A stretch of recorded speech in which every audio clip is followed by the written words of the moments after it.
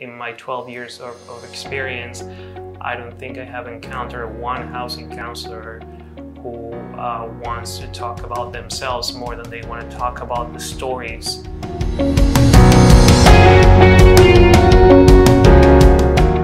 When there ever is a need, whether that is for home buying, for foreclosure prevention, whether that is uh, any programs, any questions related to housing or any, any resources around housing, we are that person that they can come to. They come to us when they want to buy a home because they want stability for their families uh, to so they don't have to move um, every few years.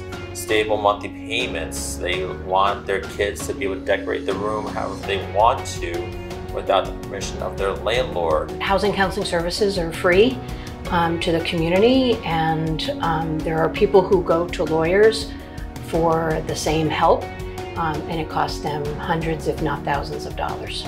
Philadelphia Housing Counseling, we got things done during the pandemic.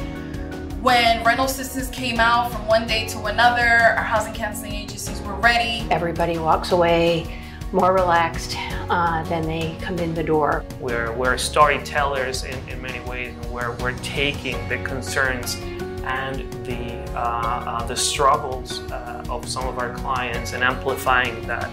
But no, it's not easy. The work that you do, you're very much appreciated. Thank you.